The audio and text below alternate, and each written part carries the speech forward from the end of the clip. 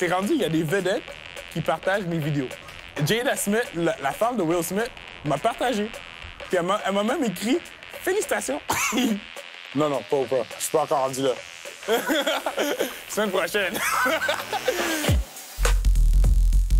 J'ai dit, mais voyons. Il est à la bibliothèque, il fait l'acrobatie.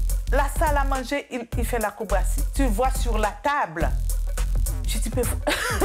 Moi, je sais pas comment il fait. Ma définition de limite, c'est qu'est-ce que l'esprit impose. C'est ce que tu penses que tu peux pas faire. Ça, c'est juste pour faire un documentaire sur moi. C'est rien, c'est 15 minutes. Je voulais 30, mais ils m'ont dit non. Je m'appelle Woody Belfort. Mon handicap, c'est la dysplégie spastique. C'est un type de paralysie cérébrale dû à la naissance.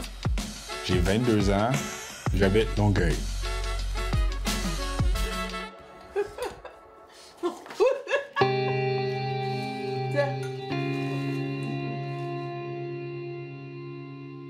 Son père et moi, on s'est divorcés euh, depuis qu'il avait six mois. Mon père, il m'a abandonné parce que j'avais un handicap. Il voulait pas un enfant handicapé. J'ai l'espace souvent sur les épaules, les jambes. Je peux marcher, mais comme quelqu'un qui sort, sort d'un bar à 3 heures du matin, littéralement. Mais c'est c'est la vie. Toi, tu portes des souliers, moi, j'ai un fauteuil. J'ai jamais vu ça comme quelque chose qui peut me nuire. C'est juste un autre moyen de, de se déplacer. Tout le monde, il donne du respect, mais comme du plus profond de son cœur. C'est genre, waouh, qu'est-ce que tu fais? C'est... Si toi, t'es capable de faire ça, il n'y a rien d'impossible. Le trick que je suis le plus fier doit être le Salmon Ladder. C'est ça qu'on appelle. Moi, je m'entraîne depuis 3-4 ans, je suis pas capable de le faire, puis lui, il est là, il arrive, il te le fait, quelque chose de long. Incroyable.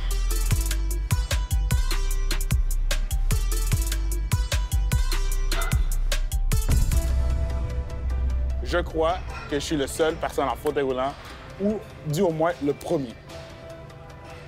Un Montréalais. Tu peux me toucher maintenant. le fait que j'ai réussi et je l'ai publié sur Internet, ça a poussé d'autres personnes en fauteuil roulant de l'essayer. C'est un, c'est un sentiment incroyable. On me reconnaît pour l'effort et je suis plus utilisé comme symbole de quand tu veux, tu peux. Et ça me fait du bien parce que ça motive les autres. J'avais peur qu'il soit déprimé toute sa vie. Oh mon Dieu, c'est l'homme le plus heureux du monde. Moi, j'ai toujours dit que j'étais chanceux. Toi, t'as goûté au gâteau au chocolat. Si je te l'enlève, ça va te manquer. Mais moi, on m'en a juste parlé. Alors, ça peut pas me manquer. Alors, le fait que j'ai grandi avec mon handicap, euh, c'est devenu un partie de moi très vite que j'ai accepté. Alors, c'était jamais un problème en tant que tel. Ce qui était un problème, c'est comment dealer avec les problèmes extérieurs. Puis souvent, les problèmes extérieurs, c'est l'accessibilité des métros.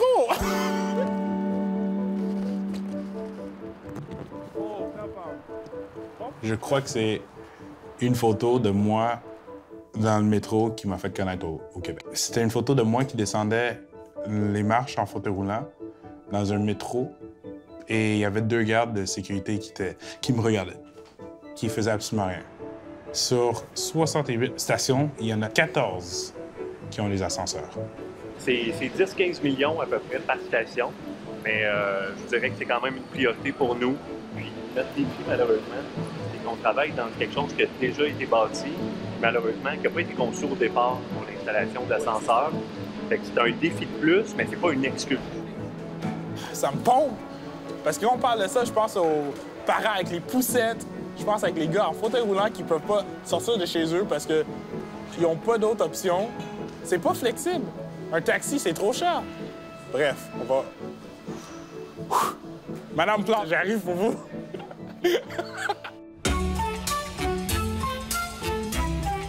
J'ai trois missions dans la vie. La première, c'est d'être le meilleur la meilleure personne que je peux. Deuxième, c'est de montrer à toi, pers- là, c'est là que tu zoomes sur moi, à toi, personne qui regarde, que tu peux être la meilleure personne que tu peux. Puis la troisième, c'est de changer ce monde. Ah, c'est énorme comme but. C'est énorme. Mais je veux faire un impact idéalement positif. Si j'avais à comparer euh, Woody à un joueur de hockey professionnel, on pourrait certainement nommer Piquet Souban. Piquet est un, un- un- un jeune homme qui est vraiment show-off aussi. Et Woody l'est. Il est charmant, Woody l'est. C'est pour ça que je l'appelais mon garçon. Piquet était mon garçon. Piqué Souban, moi, ouais. Je pense que ce serait le plus grand joueur de hockey qu'il faudrait qu'il se compare à lui et non le contraire. Woody, c'est euh, c'est quelqu'un d'unique. J'ai jamais vu quelqu'un d'aussi positif, tout le temps là pour encourager les, les gens. Quand mes amis viennent ici, il faut que tout le monde se mette par terre pour faire des push-ups. Non, non, ça compte pas, doucement. Respire. Oui, vas-y. Parfait. Ah, c'est parce qu'elle commence à les sentir.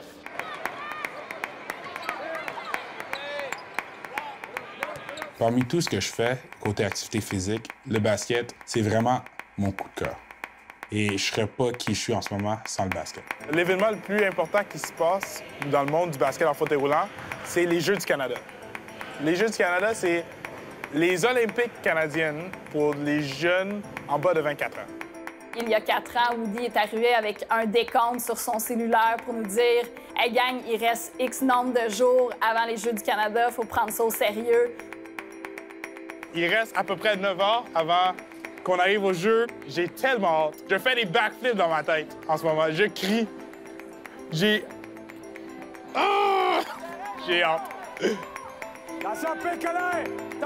Depuis 2003, le Québec a remporté l'or. Ça fait quatre Jeux du Canada de suite qu'on a remporté l'or.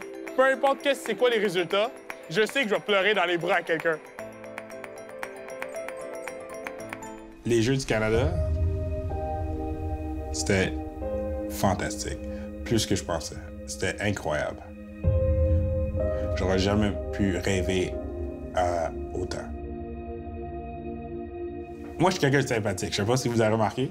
La gang d'hockey m'a tellement aimé que le coach m'a dit Hey, euh, tu peux-tu venir à, à notre chambre d'hockey pour juste nous encourager un peu? Parce qu'on a besoin de ton énergie pour notre game qui est assez serré.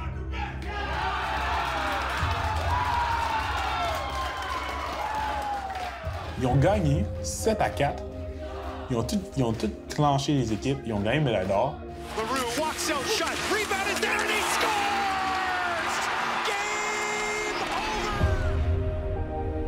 La ronde préliminaire, ça a super bien été pour nous. On a gagné nos trois matchs. En demi-finale, on, on était contre l'Ontario. C'était un match très serré, jusqu'à la fin. On a perdu par deux points. Sur le coup, j'étais devastated.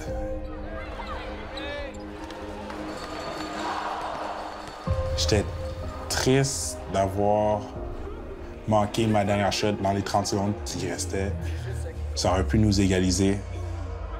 Je disais que c'était ma faute, je disais que c'était ma faute. Je mettais tout le poids de la terre sur moi, sur mes épaules. Ça montre comment on était passionnés de ce sport.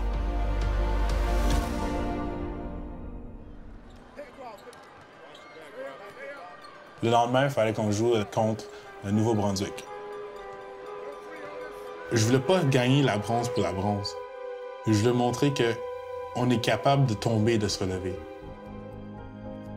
Au début, c'était très difficile parce que quand ça allait pas bien, on commençait à stresser, mais on a réussi de se regrouper, on a réussi de se réunir en tant que famille, puis de, de persévérer et gagner. C'était, un des moments les plus beaux de ma vie. Le bronze vaut de l'or. Totalement. Je dis que c'est l'or pour ceux qui n'ont pas lâché.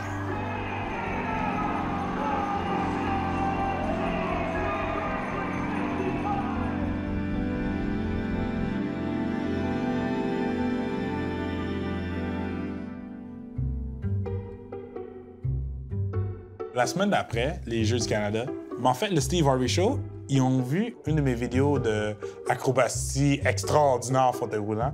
Ils m'ont appelé, ils m'ont dit We would like to have you on the show. Moi, au début, j'ai rien compris. Before, before we start, before we start, Yeah. ladies, I'm single. Et on commençait à faire des blagues, ils riaient, je riais. Le show était incroyable, j'ai adoré. Moi, ça fait des années, des années que je sais que ce gars-là, la journée qu'il tombe en dessous du spotlight, il va faire un ravage, il va faire un malheur parce que justement, il est humble de lui-même, puis il est comme impressionnant, comme tu vois, il n'y en a pas deux comme lui, tu sais. Populaire ou pas, oui, il y aura toujours l'école. Présentement, j'étudie en langue moderne au Collège de Rosemont pour devenir enseignant en langue seconde. Un panty es un pantalón o lo abajo. C'est quelqu'un d'extrêmement intelligent aussi. Euh, moi, j'ai été fascinée de sa, sa facilité avec les langues. Euh, présentement, je parle à peu près cinq langues. Le français, l'anglais et le créole. C'est une chaîne. L'allemand et l'espagnol, c'est deux langues que je suis en train d'apprendre. Des fois, je me pose la question comment il fait? Comment il fait pour être toujours heureux pendant qu'il a cet handicap-là? Avec tout ce que je réussis maintenant, ça montre que faut pas abandonner ses enfants parce que n'importe qui peut être extraordinaire. N'importe qui peut réussir dans la vie. Oui. Rudy m'inspire. Vraiment, il m'inspire. Je suis sa mère, il m'inspire. Je veux faire une différence. Moi, je veux mourir et Mère Teresa. Ah oui, je sais, je connais c'est qui. Obama. Ah oui, je sais c'est qui. Woody. Ah ben voyons donc, tout le monde sait c'est qui. On est ici pour parler de gym, oui, hein? Ça, c'est un gym.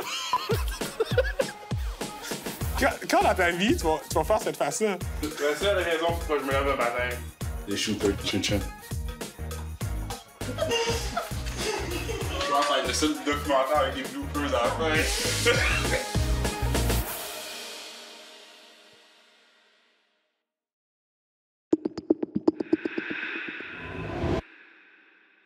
Vous avez aimé ce que vous venez de voir? Eh bien, abonnez-vous à notre chaîne pour voir d'autres contenus tout aussi intéressants.